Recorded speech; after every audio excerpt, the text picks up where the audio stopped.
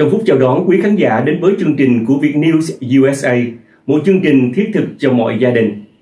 Chương trình được phát sóng mỗi ngày trong khung giờ quen thuộc là 7 giờ PM giờ Arizona trên kênh Việt News USA. Để đón nhận các thông tin về tiểu bang Arizona, cùng tìm hiểu nhiều lĩnh vực quan trọng hàng ngày xung quanh ta, quý vị nhé.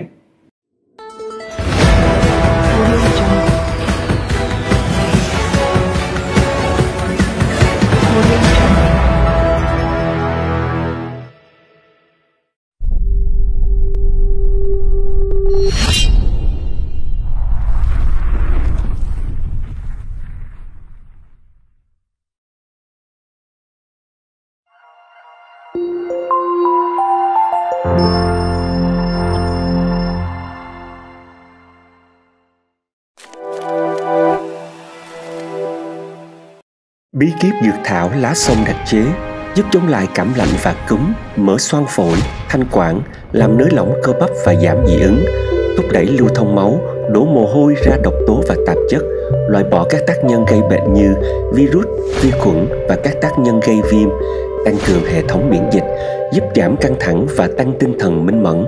Hãy gọi ngay 916 666 0218 916 666 0218 hoặc info at mnmothernature.com.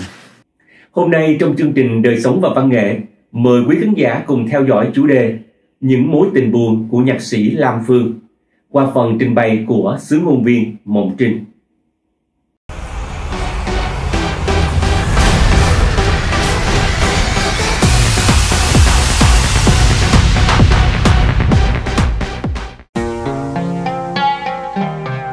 Phở Cần Thơ, phở Cần Thơ Đến với Thiếu Son, đừng quên ghé lại phở Cần Thơ để thưởng thức các món ăn ngon đậm đà hương vị Việt Nam như phở, hủ tiếu, bún bò Huế, bánh canh, bánh mì, bánh xèo, cơm tấm và nhiều món ngon khác dành cho bữa cơm gia đình.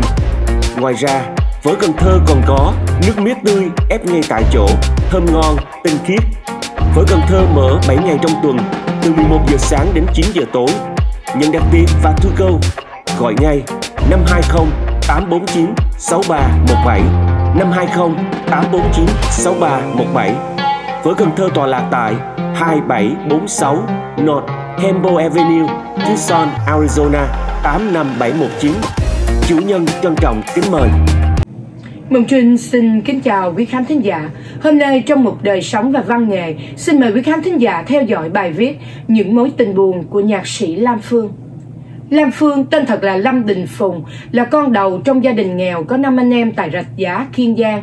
Ca khúc đầu tay của ông là bài Chiều Thu ấy, viết vào năm 15 tuổi, khi ông ấy phải vay tiền của bạn bè để mướn nhà, in nhạc, rồi thuê xe chở nhạc đi bán lẻ khắp Sài Gòn. Ba năm sau, Lam Phương tung ra hàng loạt ca khúc viết về quê hương, trong đó nổi tiếng nhất là khúc ca Ngày Mùa, được hầu hết các trường học ở vùng đồng bằng sông Cửu Long chọn để dạy cho học trò ca múa. Những cuộc tình của nhạc sĩ Lam Phương đã đi vào âm nhạc của ông rất tự nhiên. Trong đó, Bóng Hồng để Lam Phương viết nên những bản tình ca hay nhất nhưng cũng sầu thảm nhất chính là danh ca Bạch Yến. Bà là người mang đến cho nhạc sĩ cảm xúc lớn để viết các ca khúc Chờ Người, Thu Sầu, tình bơ vơ, trăm nhớ ngàn thương, tình chết theo mùa đông, tiễn người đi, vân vân, khiến người nghe nhạc say đắm cho đến tận bây giờ. Các ca khúc cho em quên tuổi ngọc gắn liền với nhiều kỷ niệm giữa nhạc sĩ Lam Phương và danh ca Bạch Yến, giúp người xem cảm nhận được nỗi đau của ông khi lời cầu hôn dành cho Bạch Yến bị gia đình và chính bản thân cô từ chối. Năm 1984, khi Sa quê hương gặp lại danh ca Bạch Yến tại Pháp, ông viết tặng riêng cho bà ca khúc này. Đây cũng là bài hát duy nhất nhạc sĩ Lam Phương viết bằng hai thứ tiếng Pháp, Việt. Một nhạc phẩm nổi tiếng Lam Phương sáng tác để nói lên mặc cảm khi phải sống trong cảnh nghèo khó của gia đình, được ông sáng tác vào năm 15 tuổi là Kiếp Nghèo. Tình bơ vơ cũng là bài hát Lam Phương dành riêng cảm xúc của mình cho nữ danh ca Bạch Yến.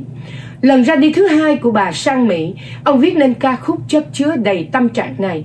Một bóng hồng khác cũng mang đến cho Lam Phương nhiều khổ đau lẫn hạnh phúc là ca sĩ Minh Hiếu. Cuộc đời ông sau đó từng có mối tình say đắm với ca sĩ Hạnh Dung. Hai ca khúc Bọt Biển và Giọt Lệ Sầu ông viết cho Hạnh Dung khi chuyện tình yêu của họ rơi vào bế tắc. Nhờ những cây đắng của cuộc đời, những sáng tác của Lam Phương trở nên sâu sắc, len lỏi vào tận tâm can người nghe và dần được người yêu nhạc đón nhận nồng nhiệt. Chính vì vậy, Lam Phương đã không còn sống trong kiếp nghèo và những cuộc tình mới cũng bắt đầu nảy nở.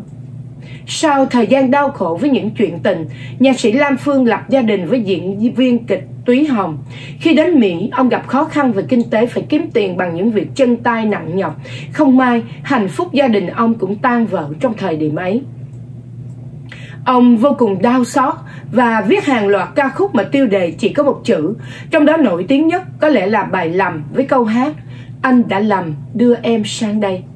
Đây cũng là mối tình để lại nhiều dư vị ngọt ngào nhất, nhưng cũng đầy bi thương nhất. Quý khán thính giả vừa theo dõi bài viết những câu chuyện tình trong sáng tác của Lam Phương. Bài đọc của chúng tôi đến đây tạm chấm dứt. Xin mời quý khán thính giả theo dõi tiếp vào tuần tới. Thông tin vừa rồi đã khép lại chương trình tin ngày hôm nay. Cảm ơn quý khán giả đã dành thời gian quan tâm theo dõi chương trình Việt News USA, một chương trình thiết thực cho mọi gia đình. Chương trình Việt News USA sẽ tiếp tục mỗi ngày trong khung giờ quen thuộc là 7 giờ PM giờ Arizona. Còn bây giờ, Trọng Phúc xin kính chào tạm biệt. Hẹn gặp lại. Chúc quý vị có một ngày thật là vui bên gia đình và người thân. Và đừng quên bấm nút đăng ký, ghi danh, subscribe cũng như chia sẻ video đến cho mọi người. Chân thành cảm ơn.